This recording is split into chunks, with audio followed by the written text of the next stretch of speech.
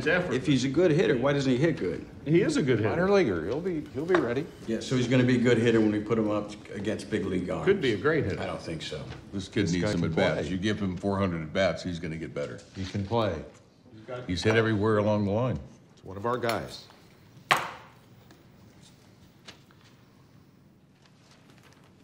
Okay, let's move on.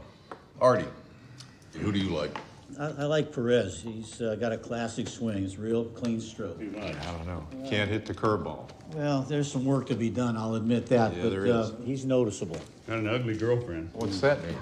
Ugly girlfriend means no confidence. Okay. Oh, no, you guys are full of it. Artie is right. This guy's got an attitude. An attitude is good. I mean, it's the kind of guy walks into a room, his dick has already been there for two minutes. Yeah, he passes the eye candy test. He's got the looks. He's ready to play the part. He just needs to get some playing time. I'm just saying, his girlfriend is a six at best. Look, if we're trying to replace Giambi, this guy could be it. I agree. Yes. Damn, Billy, was that a suggestion? Guys are just talking. Talking la la la la la like this is business as usual. It's not. We're trying to solve the problem here, Billy. Not like this, you're not. You're not even looking at the problem. We're very aware of the problem. I mean, Okay, good. What's the problem?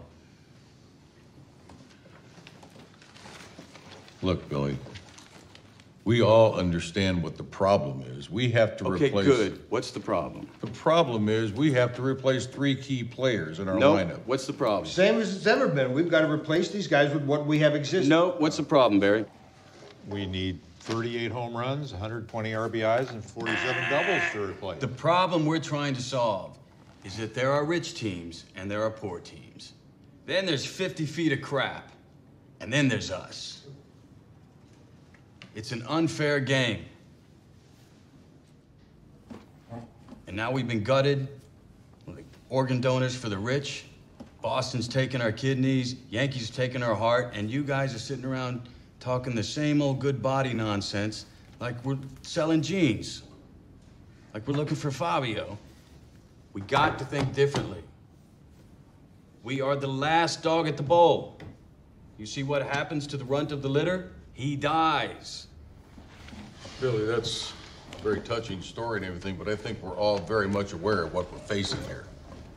You have a lot of experience and wisdom in this room. Now, you need to have a little bit of faith and let us do the job of replacing Giambi.